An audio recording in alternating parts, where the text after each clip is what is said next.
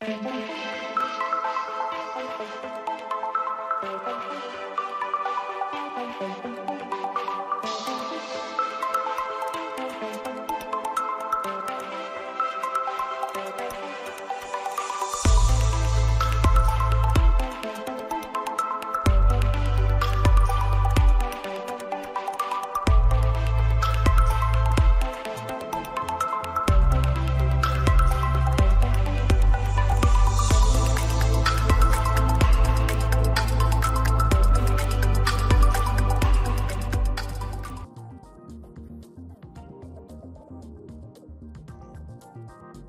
my name is Eddie Tofpik. I'm Head of Technical Analysis and Senior Markets Analyst at ADM Investor Services International Limited. And here is your weekly technical analysis of Paris rapeseed, Winnipeg canola, and Malaysian palm oil. Paris rapeseed.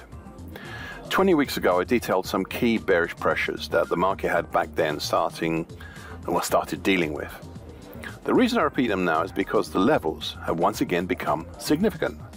They were, and I quote, we have overhead a more diaphanous congestion band between 456 and 3 quarters to 468 and 3 quarters, a band that was relatively easier to navigate than the others mentioned, end of quote. Moving back now to more recent times, and in early March, the market punched up from below through and over both the short medium moving average, currently 433 and 3 quarters, and the medium moving average, currently 434 and 3 quarters. Up through the key overhead congestions mentioned in my earlier commentaries between 438 to 445 and 3 quarters, through the gold highlighted flatlining long moving average, currently 447 even, and peaking and closing numerous times in the last three weeks over the significant 50% Fibonacci line the May to July 2023 move of 456 and a half. Now I also added the following comments six weeks ago, and I quote, we have seen a turn towards a bullish with a move up and test of not only the upper time, but the green short medium moving average that is supposedly reinforcing it. This is not a major turn, not yet, but is supposedly not far away from being one. If we do turn higher properly, and the first key level is not far away at the February higher, 427 even, where we could see significant recovery higher. End of quote. Now I further added, the reason I said 427 even is that any move over that level would set up the opportunity for a possible double bottom over mid-January to date period. So watch what happens up at the green short medium moving average, the 427 level and the medium moving average. End of quote. Well, we did form a double bottom and achieve both the primary and secondary targets for this pattern. Three weeks ago, I asked the following, and I quote, The question now is what's next? Will these pattern targets and resistances sit within the larger, more recent November to mid-December 2023 congestion band that stretches from the June 2013 high of 438 even up to the 50% Fibonacci line of the May to July 2023 move up at 456 and a half? I said about this congestion band two weeks ago, so that's now five weeks ago. I said about this congestion band two weeks ago, and I quote, the action lower this year has potentially more ammunition, enough to take on a substantial but smaller overhead resistance area should it choose to. End of quote. Three weeks ago, I was awaiting indications of what may happen next, and by last week, it had become somewhat clearer. We had a mid-March to date rising wedge pattern currently 453 and a quarter to 463 and three quarters, highlighted in dark blue on my daily chart. It is a small to medium pattern and I liked it. Then yesterday prices broke out on the downside of the pattern with a bearish opening black Marubozu, halting at the next somewhat obvious support below, which is the gold highlighted long moving average, currently 447 even. Today prices have been testing below it and down to the next major support, the 50% absolute Fibonacci line, at 445 and a half. That's how important it is. So whilst this may still be some seen as a possible force break lower, it would still be prudent to indicate some potentials below for such an ascending wedge pattern. Thus, the primary target X will be in the 44, sorry, 444 even zone. For harder to reach target, secondary target X1 down in the 426 and 3 quarter zone. I should also point out a feature about ascending wedge patterns. that though it is allowed for markets to move up and out of such a pattern, something like 8 out of 10 times the breakout overall from rising wedge patterns is on the downside. So please bear this in mind. Winnipeg canola. The market has well, slowed and eventually halted in its decline since July last year by the approach in February to the December 2020 low at 567 even. The haul ended up as a nice, neat horn bottom that rallied prices higher during late February and into March. Up through the May 2023 low at 611.10, the 2021 low at 629.60, the now flatlining short medium moving average currently 617.90, and towards the seeming end of the rally, the mauve highlighted medium moving average, currently 633.5, and the June 2021 low at 655.90.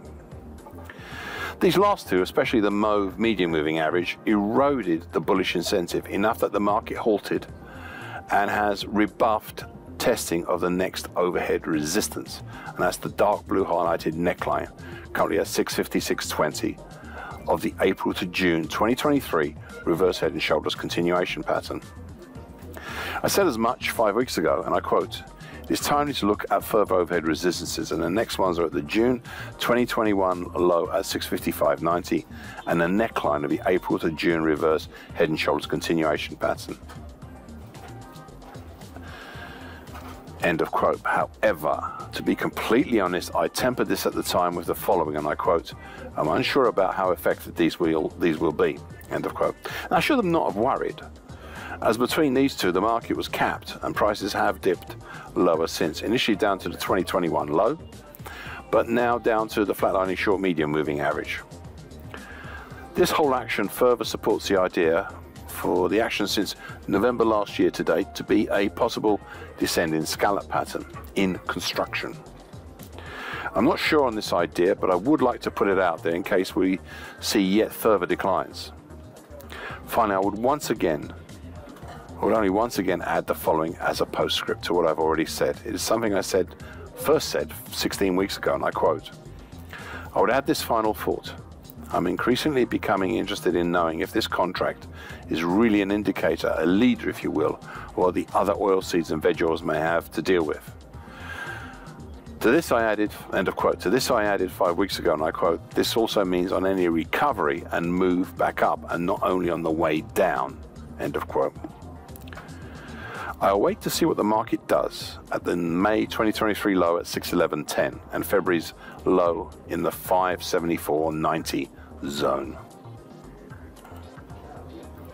Bursa Malaysia crude palm oil. Seven weeks ago, we had an exploitation of a breach turning into a proper break higher and the end of a venerable bearish Schiff pitchfork. So going back a few steps first, one of the significant patterns at one time or another, and one that is important right now, highlighted in bright red on my daily chart, is the neckline, currently at 42.35 of the September 2015 to November 2017 head and shoulders top. At one time or other, this had acted as a resistance, a support, and now is a resistance.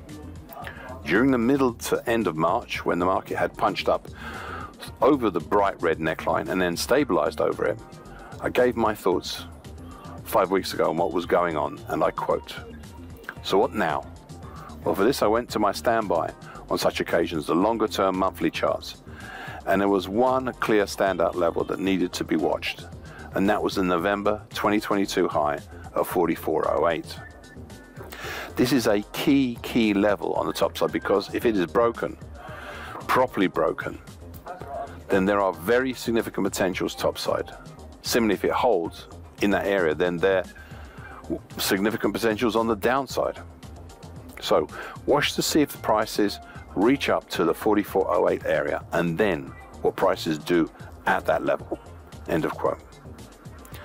Two weeks ago, prices punched up through and closed over 44.08, moving higher, but this was limited as the December the December 2021 low at 44.67, the August 2022 high at 44.84, and the approach to the June 2022 low overhead at 45.59. All these eroded the bullish incentive, but there was one level, one level, one specific level that stopped and turned prices lower and that was the erosion by the early March 2008 all-time high back then at 44.84.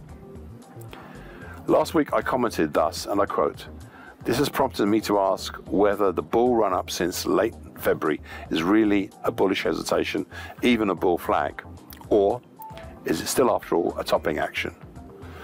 Now, to be honest, the jury is still out on this one as we stay between the bright red neckline below and the March 2008 previous all time high, which is above. Well, we didn't stay between those two levels, that's the end of the quote. Well, we didn't stay between those two levels for too long, well, for as, as long as last Tuesday saw a gapping open below the bright red neckline and we've dropped down ever since, down through an empty area apart from the flatlining short medium moving average, currently at 41.12, and down to now test the dark blue highlighted neckline, currently 40.42 of the small September to November 2023 reverse head and shoulders pattern. Further below is the lesser Fibonacci level at 40.29, plus congestion at 39.86 but I suspect you'll find better support at the combination of the slowly rising medium moving average, currently at 39.59, and the February 2011 high at 39.53. Yet, what we have left behind during March and April, looking in our rearview mirror, is an extraordinary and rare pattern. It is a V-top, but with an extension. But the rarity is that the extension came first so he had the, the extension first before, rather than having the V-top. Rather than the traditional way, which is V-top extension, it was extension and then V-top. Can't remember the last time when I saw such a pattern. Thank you for listening. This weekly broadcast gives the essential market patterns and consequences. Please be aware of the risk disclaimer posted both at the front and at the back of this broadcast. Copyright is Eddie Tofpik and ADM Investor Service International Limited. And here comes the final important bit.